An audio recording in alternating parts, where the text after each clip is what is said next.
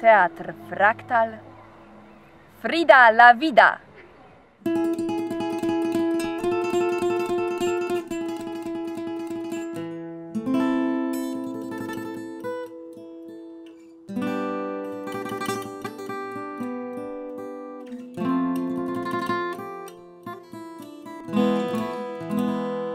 Chciałam Cię prosić o zaliczkę na przyszły tydzień.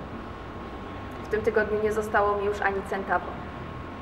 Po tym jak zwróciłam Tobie 50, te, które byłam Ci winna, 50 Adrianie, 25 dałam Diegowi na wycieczkę niedzielną, 50 dla Christy i skończyłam jak ten niedźwiedź.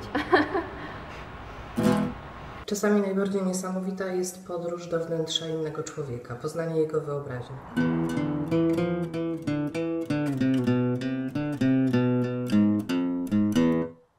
Polecam z całego serca pracę dziewczyn, szczególnie dlatego, że tematem jest Frida Kahlo, również niesamowita kobieta, która miała niesamowite wnętrze.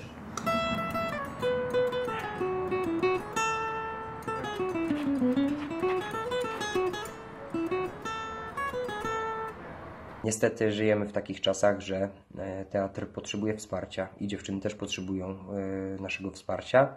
Podoba mi się ten facet. Możemy być współproducentami czegoś ważnego i istotnego i ciekawego przy okazji. Frida będzie się utrzymywać ze swojej pracy. Postanawia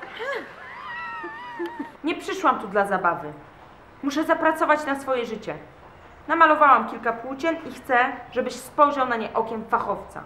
Jesteśmy pewni, że jest to kopalnia po prostu możliwości i pomysłów, także zachęcamy Was do wspierania. Na pewno powstanie świetny spektakl. Diego Maria de la Concepción. Diego Mari- Maria de la Concepción.